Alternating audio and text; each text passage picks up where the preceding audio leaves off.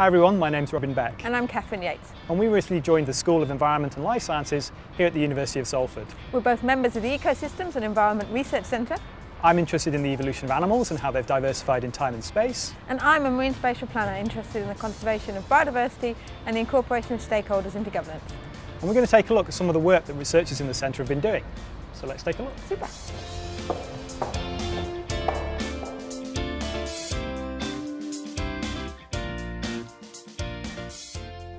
Hi Mike, thank you for joining us today to talk about your research. Could we start with you introducing yourself please? Yes, I'm Dr Mike Wood. I'm a reader in applied ecology here at the University of Salford. And what is it that you're researching Mike? So my research is about the impact of radiation on wildlife and currently I'm undertaking a five-year programme of NERC funded research in the Chernobyl exclusion zone. So here you have a, a map of part of the Chernobyl exclusion zone, the Ukrainian side of the zone, this is the Belarusian part up to the north. The whole zone is about the size of Northumbria, so it's a large area. And 30 years ago, it was contaminated by release of radiation from a nuclear reactor. And in each of these three sites, I'm undertaking research on the impacts of radiation on wildlife. And what attracted you to this kind of research? Well, I've always been fascinated in all types of science. I love chemistry, physics and biology. And the great thing about this radioecology work that I do is it requires you to have an understanding of all three discipline areas and bring them together to be able to deliver this type of science. And what research techniques are you using to do that? So within each of these three study areas that we've got, we're using motion activated cameras that are triggered as an animal moves in front of the camera and that allows us to capture images of the certainly the larger mammals that are present within these areas. We're also using acoustic recorders which capture the full soundscape so we can take the sounds of birds, of insects, of amphibians like frogs, as well as the sounds of large mammals. And these two devices together give us a much more comprehensive overview of biodiversity within each of these study areas. And how are you sharing this? How are you communicating these discoveries? We realised quite early on that this was something that was a good story to tell for the public, but we needed to be able to get the public to understand more about Chernobyl and the Chernobyl exclusion zone. So what we did was we took out a 360 degree video camera and we captured footage at different sites within the zone and then worked with the virtual reality development team here at the University of Salford to create Virtual Chernobyl, a virtual tour of the exclusion zone where people can decide where they want to go and go off and explore areas for themselves. Sounds great. Thank you Mike for sharing your research with us today. Thank you.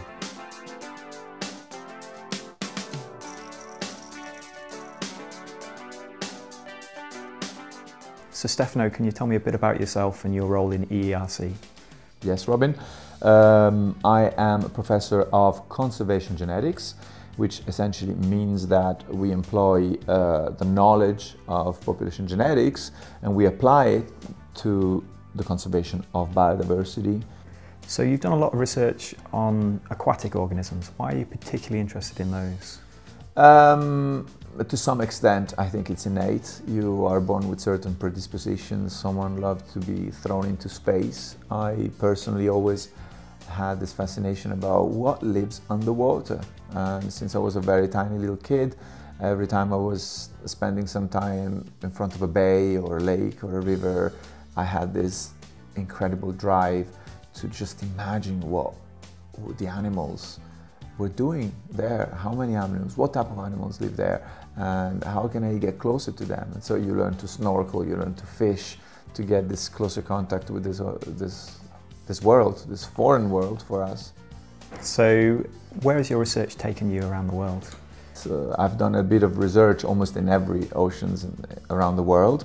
Uh, I am originally from Italy, so uh, the Mediterranean has been the, the mainstay of my studies. I still have a lot of projects and collaboration with Mediterranean-based researchers, but I had the chance to work on projects, uh, such one where I was sampling sex-changing fish in South Africa and in Natal, in the Caribbean to sample sharks. So actually, yeah, I can, I can consider myself quite happy. So what do you think your most significant findings have been? Without, without any doubt, I would say probably my work on seafood mislabeling uh, is the one that, that, that, had the greatest impact also outside academia because Um, it's something that every person in the world can relate to. Uh, beginning to understand that uh, the fillet of fish you've just purchased might not be that species of fish. So thanks very much for talking to us about your research today, Stefano. Thank you very much, Robin. Hello Mark, really good to be here today with you in Peel Park and find out about your research. Could we start off by you telling us a bit about yourself? Hello Katherine, my name is Mark Danson. I'm Professor of Environmental Remote Sensing here at the University of Salford. Today I'm joined by Fadel Sasse, who's a PhD researcher from Libya. Fabulous, and what is it that you're researching? Well, our research aims to measure the structure and species composition in forest and woodland canopies. And we want to try to use these measurements to better understand how forest management and climate change affect the uh, ecology of forest ecosystems. And why is that research so important? Well, as you can see in the park here today, uh, it's very difficult actually to make even simple measurements in forest environments. So imagine, for example, measuring the height of all these trees. And so what we've done is we've uh, designed and built a new instrument, the Salford Advanced Laser Canopy Analyzer, or SALSA for short. And this is an instrument that uses lasers to measure the three-dimensional structure of forest canopies very accurately. That sounds really interesting. What have been your key findings so far?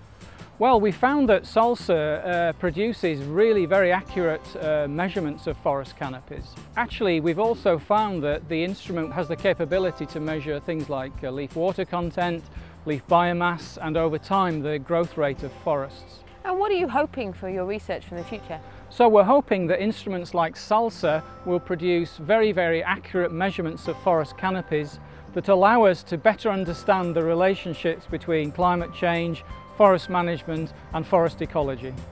Thank you Mark, it's been really interesting. Thanks for sharing your research with us today. Thank you Katherine. Nice to see you Priya. Could you tell us a bit about your role here at Salford?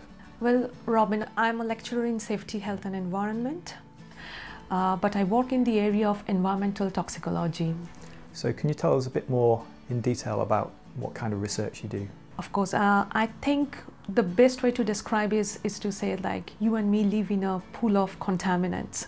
So I try to figure out what are the effect of certain chemicals. Specifically for my research, it's focused towards heavy metals like arsenic on human health.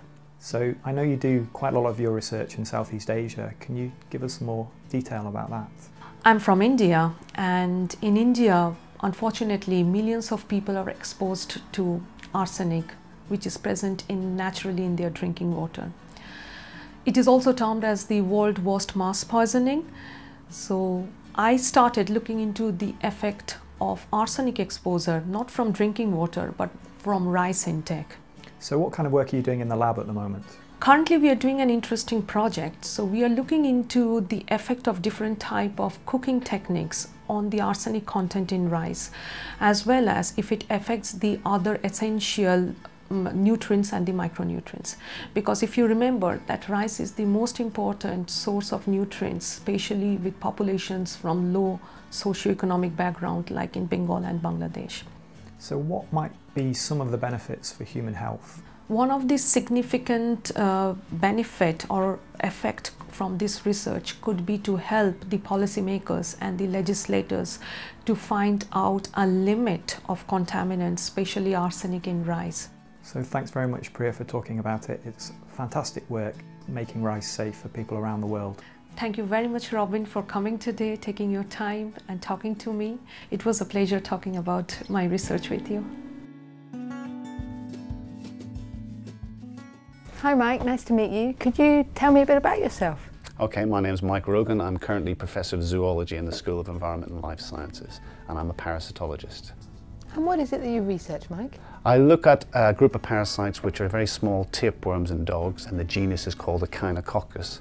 And they don't cause any problems as such in the dogs, but accidentally humans can become infected with the larval stage, which causes really big problems in the human, very big cysts to occur in the liver and the lungs, and it causes major problems in, in terms of healthcare.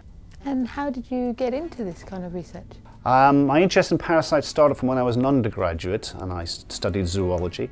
But the animals I liked to study were actually parasitic worms, which I felt were really highly adapted to the environment that they live in. They have various specialisms which adapt them to parasitism, and I found that fascinating. I then had the chance to go and work in the Liverpool School of Tropical Medicine, where I can actually then go to places where parasites were a big problem. So some of the places I've visited since then and now include China, Kenya, Kyrgyzstan, and, and recently in the Falkland Islands as well, all looking at the same parasitic infection in those locations. Um, what research techniques do you do? What we're trying to do is go into really quite difficult areas, very difficult rural areas, and to develop techniques and diagnostic tests which can help us establish how much of an infection is in a particular community. So we've developed tests where we can look at which dogs are infected with the parasite. We've developed tests which look at which humans might be exposed to the parasite and how the disease is progressing within those humans and then hopefully try to alleviate that system in different parts of the world. That's fascinating. What are you hoping to do in the future? By identifying different parts of different countries which are a problem, what we hope to do is get governments to recognise what the problem is and to start developing control strategies to try and reduce the level of infection to humans. Sounds like really important work. Thanks for sharing, Mike. Nice for you to come and see me. Thank you.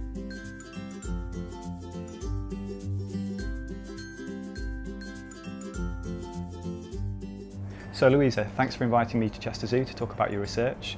Can you introduce yourself, please? So my name is Luisa Passos. I'm a PhD student from University of Salford and I'm working with Professor Robbie Young. What exactly is your research project about? So my research right now is actually focusing on comparing the animals in captivity with the animals in the wild.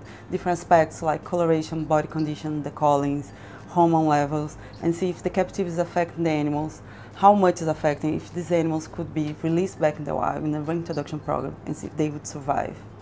So you're stood next to some really beautiful looking frogs. Can you tell me a bit about the species? Yeah, those are the golden mantella frogs. They are endangered species from Madagascar. They are one of my target species. So they're quite endangered in the wild and they are part of a conservation breeding program. So different zoos and different captivities are breeding those animals to release them back in the wild to try to boost the population numbers. But you don't just work on frogs, what are some of the other species you work on? So another target species that I have on my PhD is the Jamaican anole or the blue anole. It's a blue greenish lizard from Jamaica, but I'm working with the population that it's in Bermuda. And it's a similar idea comparing the wild individuals, the captive ones. The difference with these ones that I collect them in the wild and I put them in captivity to see how in one year how much they would change, the behavior plasticity, how they would adapt to this new environment. So what have been some of the biggest findings you've made so far? So I have found out that the captivity does affect. When you check coloration, if you see those frogs over here, they look quite orange, quite bright, but when you go to field, you see the animals are quite different. So understand there is a whole interaction of different factors like UV light and the diet and humidity and everything together that gives the right color. Because a lot of people think the frogs don't need UV light, they don't really see them like standing in the sun. And we have found out that they need a, a certain amount of UV to keep the colorations going. So it's like the cool thing is about discovering the, all these different small aspects interacting together to get like the right condition for the frogs to survive. Thanks Luisa for talking with us today. Um, it's great research and it's brilliant to see you helping to save endangered species.